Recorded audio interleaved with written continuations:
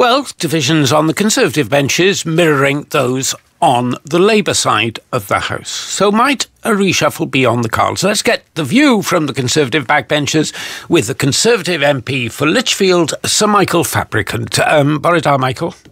Bore da, Vaughan. Um, Backer? Saka? Where do you stand? Backer.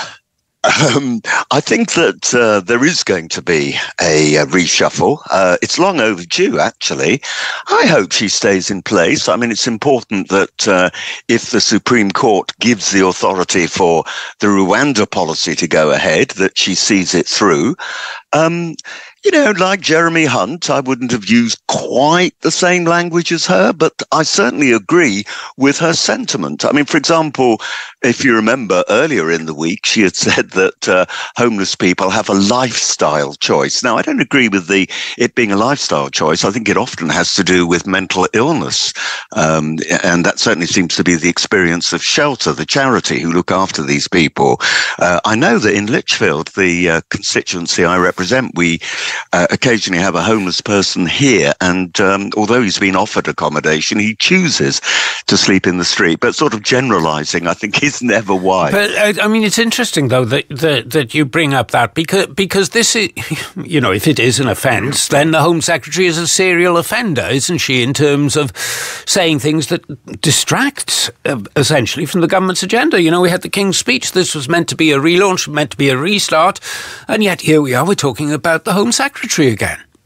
Well, I agree with you, Vaughan, and I hasten to add I am a supporter of Suella, but I do agree with you. It can be very frustrating for Downing Street. Um, Tony Blair brought in this idea of the grid, and parties and prime ministers ever since have actually followed the grid with great enthusiasm. The grid being the planned uh, releases, if you like, or stories that they're hoping that the press and television, radio media are going to cover during the course of the next two weeks.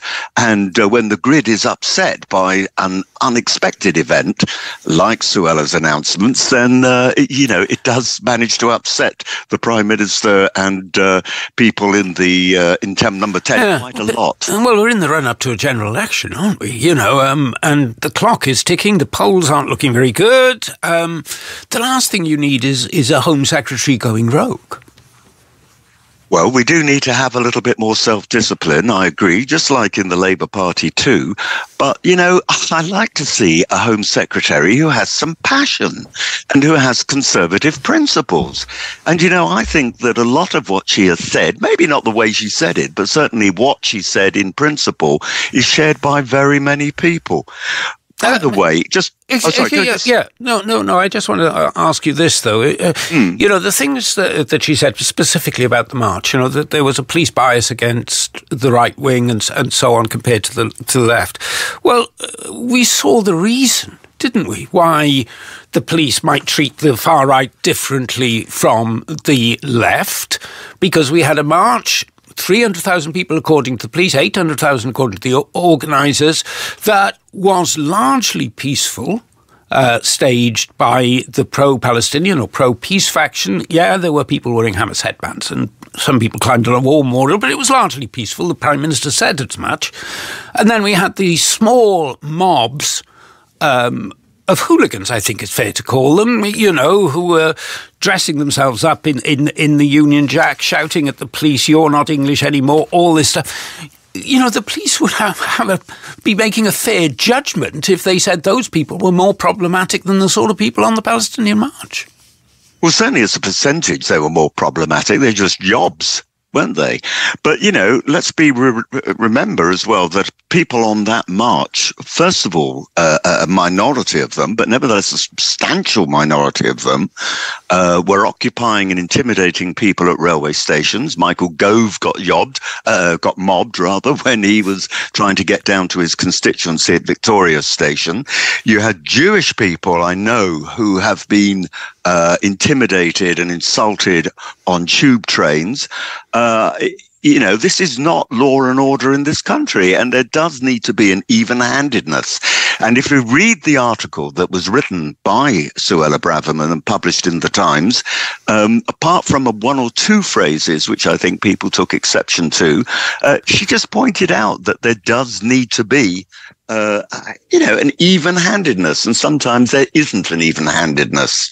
By the way, can I just say hmm. something? I, I, was listening to the interview you had with uh, that lovely uh, Labour MP, and uh, she's uh, a very Winter. nice person. Mm, she's a very nice person.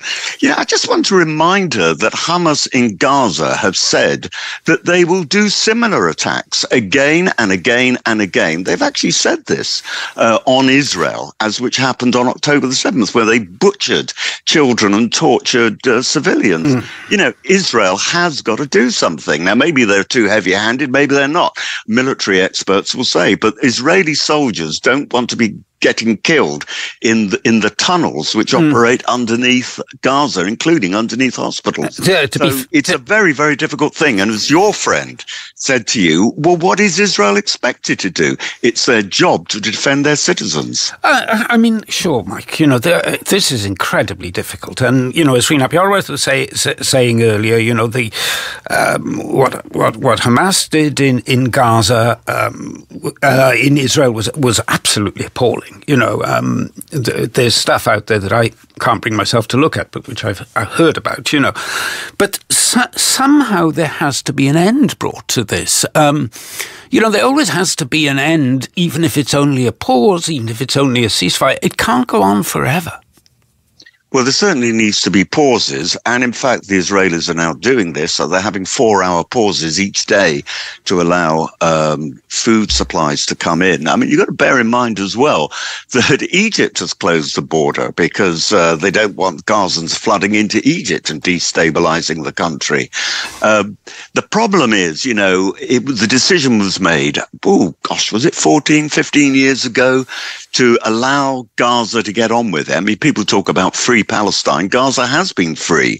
And, and look what's happened as a consequence. I remember one Israeli guy, uh, not, not in the government, saying to me, you know what they should do, Mike? They should do what the uh, Native Americans do on their reservations in America. They open casinos, they open uh, other entertainment things, and they're rolling in money.